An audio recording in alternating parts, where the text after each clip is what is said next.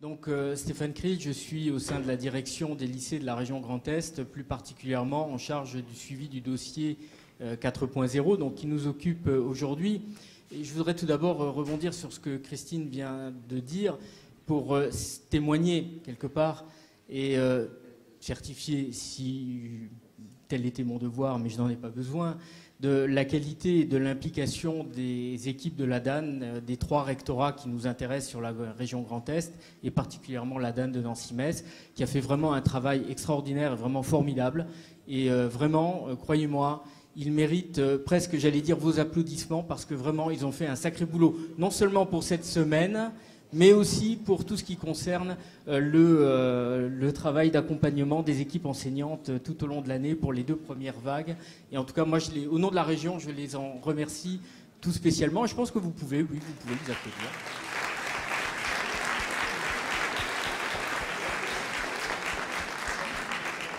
Sinon, l'actualité du lycée 4.0, bah, vos chefs d'établissement ont reçu un courrier il n'y a pas très longtemps, co-signé du président Jean Rotner et euh, donc des trois rectrices euh, d'académie, et euh, qui leur explique un petit peu justement ce qu'est l'actualité, complétée par un article de presse qui est paru mercredi, hein, c'est ça, mercredi, je crois, donc, et qui donne les grandes lignes de cette prochaine rentrée, qui se caractérise par un mot qui s'appelle le mot généralisation.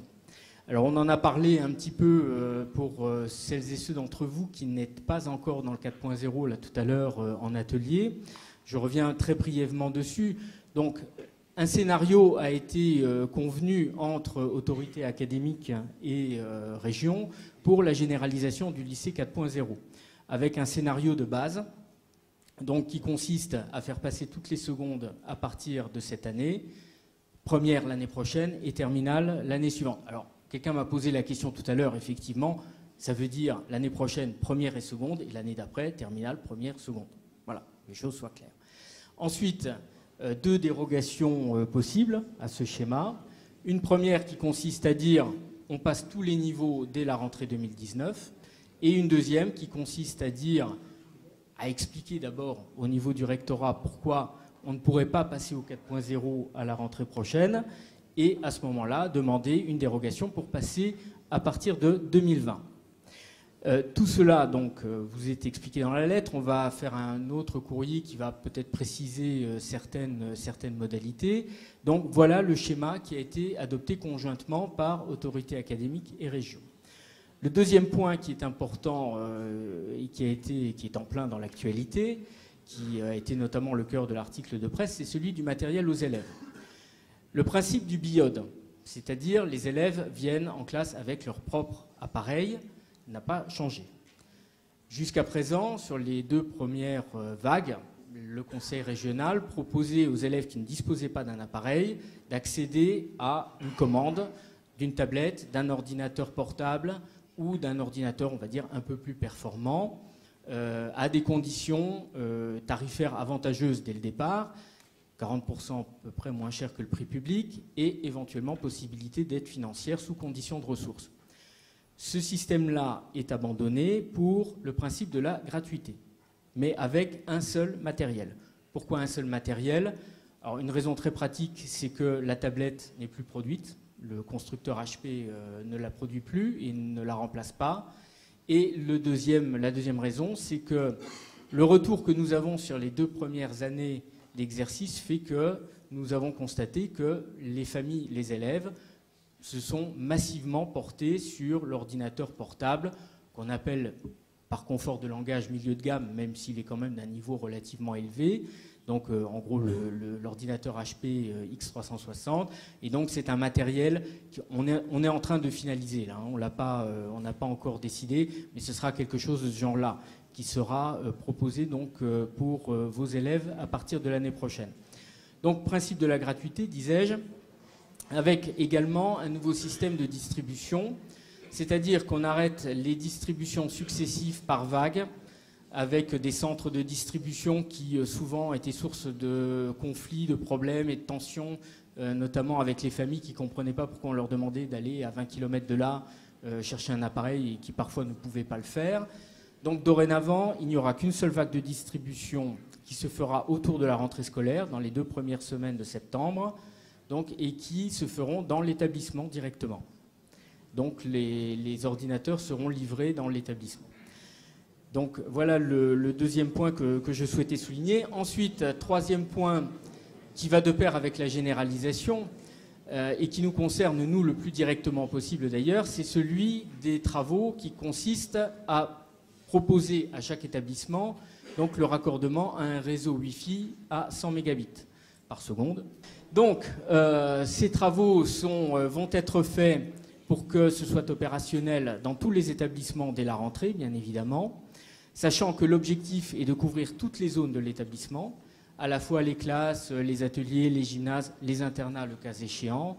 Et si vraiment il y a des établissements où cela pose problème, j'allais dire quantitatif, éventuellement on procédera à des priorisations, euh, à savoir les salles de classe, bien sûr, qui passeront en priorité si nécessaire. Mais l'objectif reste que tous les établissements soient entièrement couverts au mois de, enfin à la rentrée, donc au 1er septembre.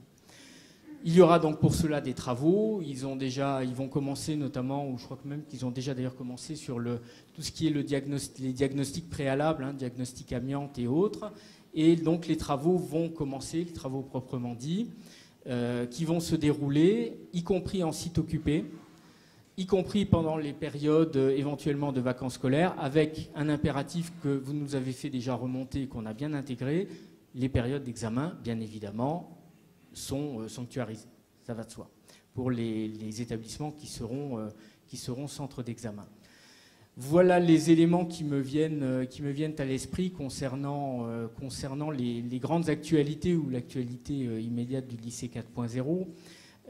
Je, terminerai juste en, rebondissant un peu ce que disait Christine tout à l'heure. C'est vrai que le 4.0, le numérique, c'est pas qu'une lubie comme ça d'institutions, rectorat, conseil régional, qui un jour sont réveillés en disant tiens va faire du numérique, on va faire du 4.0. Non, il y a une vraie cohérence derrière.